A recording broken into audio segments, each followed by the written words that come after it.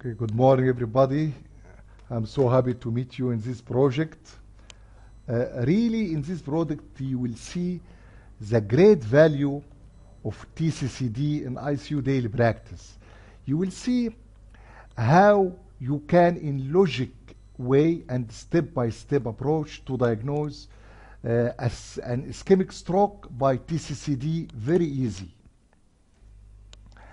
A 70-year-old male patient, known case of COPD, cor pulmonale, hypertension, diabetes, ischemic heart disease, complain of sudden onset of right side hemiplegia, disturbed conscious level. You face this patient in ER while arranging for CT brain, bedside rapid TCCD was done. You will see how by step-by-step approach and logic way you can diagnose ischemic stroke very easy. Okay. Uh, this is, as you all of you know, the circle of Willis. Here is the uh, posterior circulation, basilar artery, and left posterior cerebral artery and right posterior cerebral artery at the end. And after that, in front is the anterior circulation. This is the terminal part of the internal carotid artery, intracranial part, will divide to middle cerebral artery and anterior cerebral artery in both sides, and this is the other side. The anterior cerebral artery will meet here the, by, uh, with each other by anterior communicating artery, and the posterior circulation will be connected to the anterior circulation between uh, the, uh, through the connection between the anastomosis between the posterior cerebral artery and the internal carotid artery in front by posterior communicating artery. And by this, you will see the complete circle of Willis. Fortunately, you can see this complete circle of Willis by TCCD, but you will see it by not in uh, this position coronal view, you will see it in uh, lateral view because by using temporal approach, you will go from the lateral side and you will see here uh, all circle of Willis but in the lateral side okay? You will go through this temporal approach from left side here. So you will see the midbrain first butterfly midbrain. Uh, in front of the midbrain you will see both posterior cerebral artery and in front you will see the anterior circulation very clearly. And as you see here my probe is here in very good angle with the posterior cerebral artery, with middle cerebral artery, and with uh, anterior cerebral artery. So you will expect to see very good uh, view of circle of Willis. Okay. Okay. In our patient, our patient has sudden onset of right side hemiplegia. You will expect an occlusion in the anterior circulation in the left side. Okay. This is what I will see by the uh, TCCD. Okay, I will go here from the right side. So here I'm on the right side. I will not start until I see this butterfly hypoechoic area, which is the midbrain.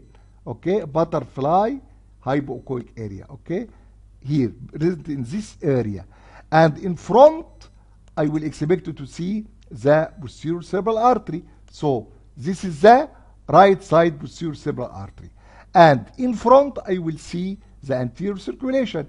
Anterior circulation here is the middle cerebral artery will go towards my probe in the right temporal here and the anterior cerebral artery will go away from my probe. Here is the anterior right side anterior cerebral uh, uh, middle cerebral artery going toward, towards my probe in uh, red here and this is the right side anterior cerebral artery in blue away from my probe.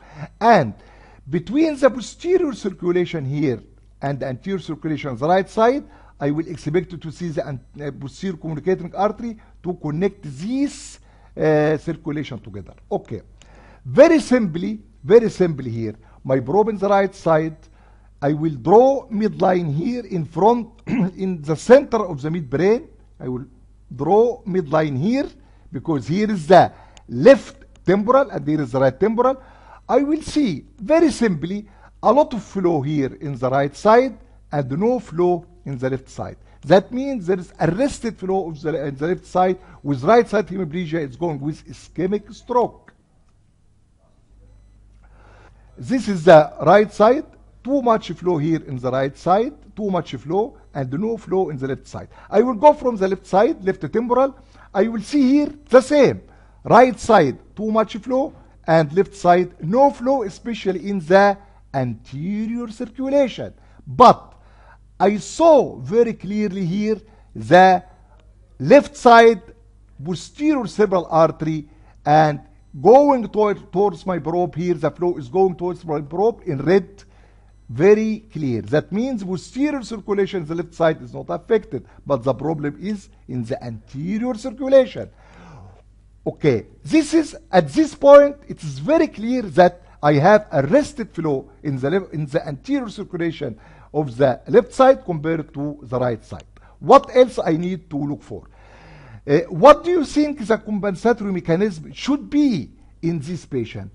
The flow in the, this high flow in the right side supposed to go to the left side, and the only way is through uh, the simple way and the easy way is will be through the posterior cerebral artery between each other here to go from the right side to the left side. And I started to see the evidence of that because here is my probe is here in the left temporal area. And here is the midbrain, butterfly hypoechoic area. This is the left side posterior cerebral artery. The flow is normal, is red towards my probe. But do you see the flow here in the left posterior cerebral artery?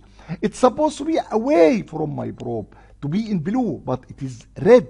That means the flow is going towards from the right side towards the left side through the posterior communicating here.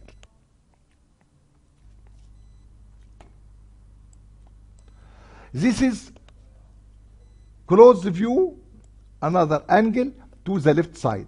You see very clearly the flow here is going from the right anterior circulation, going towards here posterior communicating artery to reach to the right posterior cerebral artery and after that will go from the right posterior cerebral artery towards the left posterior cerebral artery. Both flow here is red towards my probe, which is not the normal and not expected. The expected you see, you expect to see the flow in the right posterior cerebral artery to be blue and away from my probe. Okay?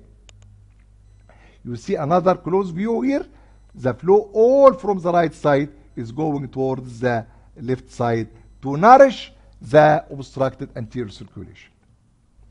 And when I put the pulsed wave Doppler here, very clear in the right posterior cerebral artery, the flow should be away from my probe and below the baseline, but there is too much flow towards my probe here because he need to, the flow need to go from the right side towards the left side through the posterior cerebral artery.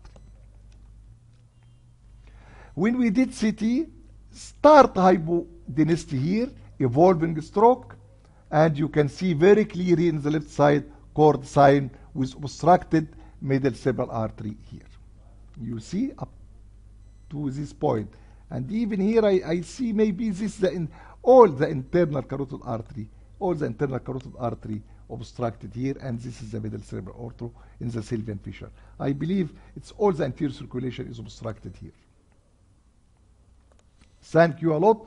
I hope you enjoy this session.